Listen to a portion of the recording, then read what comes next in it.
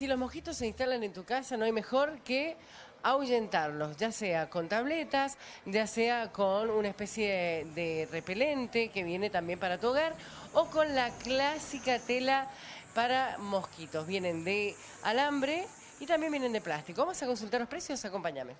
Las plásticas de 80, un metro, un metro 20 y las metálicas de 80, un metro, un metro 20 y un metro y medio. ¿En promedio cuánto cuesta un metro? 1.900 las plásticas y 6.500 en adelante las metálicas. Lo que sí hay que tomar bien las medidas para ver que las ventanas, porque no son todas iguales, ni las puertas tampoco. Se ponen en puertas o en ventanas también. Estas pastillas son para quemar.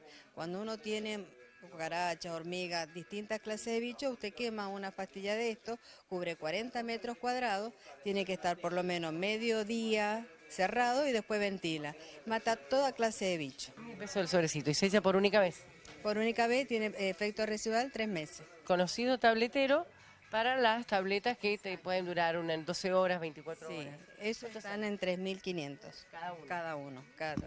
Y el nunca bien ponderado, este es mi preferido, el mata moscas y mosquitos. Que se le pega en la pared, donde lo encuentre, tiki. ¿Cuánto sale? 900 pesos. El más económico. El más económico de todo.